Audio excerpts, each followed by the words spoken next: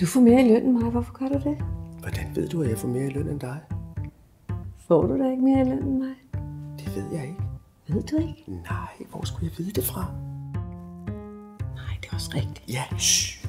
Hvad? Ja, shh, shh, shh.